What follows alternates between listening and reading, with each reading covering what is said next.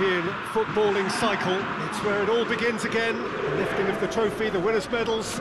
That was all back in May. A mere reminder, a relic of the glory that was and what may be to come, perhaps for one of these.